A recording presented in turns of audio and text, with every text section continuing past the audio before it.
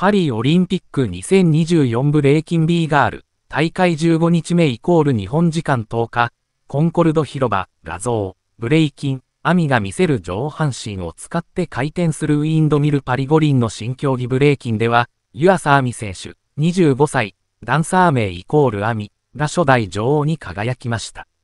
ブレイキンは、DJ が流す音楽に合わせそれぞれパフォーマンスを披露。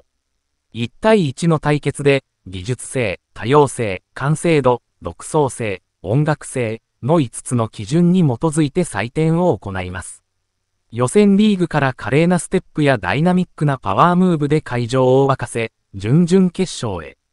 その後もシシー、フランス、やインディア、オランダを破り決勝に勝ち進みます。決勝では日華選手、リトアニアに対して3ラウンドの戦いで3対0の勝利。初代女王に輝き、金メダルを手にしました。インタビューでは、あまり実感ができていない。本当は泣きたいくらい嬉しいはずなんですけれど、まだ実感できていない。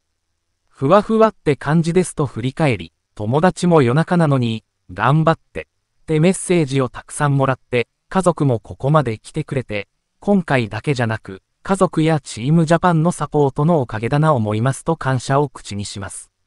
また、いかに自分らしさを出せるかを考えて練習してきた。自分らしさを出せたと思いますと笑顔で振り返りました。